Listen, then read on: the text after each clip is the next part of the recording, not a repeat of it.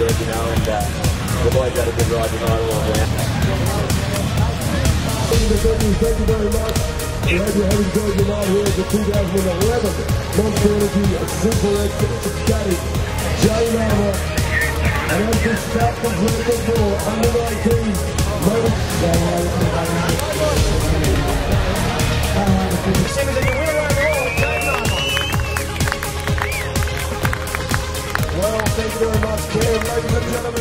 A new champion has been crowned here at the final round of the Monster Energy Super X Series. Jay Marmont, Pro Open champion, added it to the MX Nationals title. Congratulations.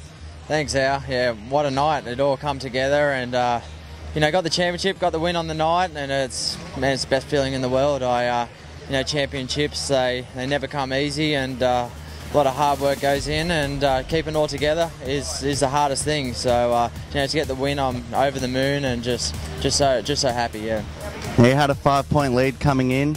You told me before that you don't really like having that red plate on your bike until, I guess, when the championship finishes. So, what were your feelings out there? We had 20 laps, traditional main event. What did it feel like? You know, did you imagine things, you know, anything in your mind ticking as the laps winding down, or pretty much felt comfortable the championship was yours? Uh, I, I want to dominate tonight. I feel my, my speed's been awesome all year. Um, them mud races really put me off, and uh, you know, didn't get my championship underway the best I wanted. But I definitely feel like I was quickest rider on the track and most consistent. So uh, I just got the start that I wanted tonight, and uh, I knew by putting a few good laps together, I'd be able to bridge a gap. And once I done that, I just kind of just rode smooth. I, uh, you know, I didn't want to push the bike too hard because you know you always hear engine noises and everything. But uh, you know, I was just just out there, just having fun and just enjoying enjoying riding. And uh, to be honest, I was looking forward to a 20 lap all year, and uh, them laps were winding down, and they just couldn't come quicker. So uh, you know, it was good to win. I think I won by a little bit over 10 seconds, but uh, Ty pushed me the whole way, and uh,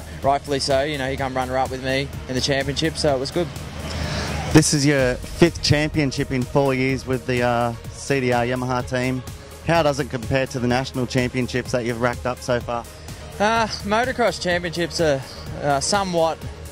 They're, uh, they're, they're, they're harder in a lot of ways because you've got so many motos every single weekend and, and the motos are grueling and you've got to deal with so many different conditions where uh, supercross you, you do so much preparation, training, riding and uh, you get out there and it's over in three races or one race tonight and uh, when you do don't do good and you've only got five rounds you know you just got to you know do everything you can the next week to pick it back up. So, uh, so this the Supercross is kind of it's a harder one to win. It's like uh, trying to win, you know, blackjack or something. Where motocross, you know, you can get it by hard work. So.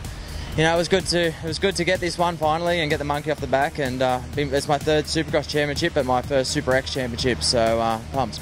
Okay, well we know we know you got a black blackjack. Congratulations, new Super X champ Jay Marmont, new Pro Lights champion JDR Motorex KTM's Matt Moss. Got the job done. Congratulations. Yeah, thanks heaps, and uh, great night for me. You know, come here 22 points in front, and didn't need to win, but uh, felt like I really wanted to win. You know, deep down, we're all racers and we want to win. So great to get the win, great to get a championship, and two number one plates this this season, and heading off to America on a high, full of confidence, and just can't wait. Had that traditional main event, the 15 laps in the lights.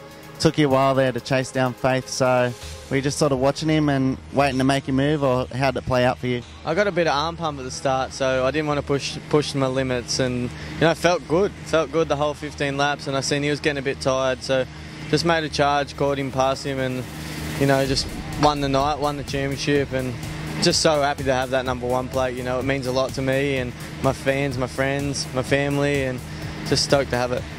America next got the uh, full time back in the AMA with JDR team over there. Malcolm Stewart was here tonight, your new teammate. So, uh, what can we expect for 2012 from Matt Moss? Oh, my goals are to win. You know, nothing, nothing less than that is going to be satisfaction for me. So, just looking forward to getting there, doing some solid testing, and uh, hitting the American scene and feeling good. You know, I've uh, I had a shocking year last year there, and you know, just I feel like I'm at the peak of my career, a lot smarter, and just want to get there and win. You know, I think I believe in myself. The team believes in me, and uh, we're ready to go do this. Okay, well, congratulations. We can't wait to watch. Thanks heaps.